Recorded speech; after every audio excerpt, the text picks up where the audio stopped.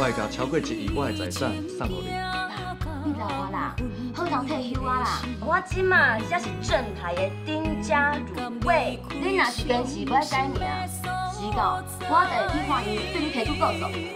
咱的未来，从今仔开始，一步一步来。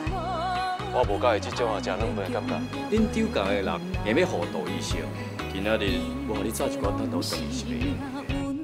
拜一到拜五，暗时八点，春风爱河边。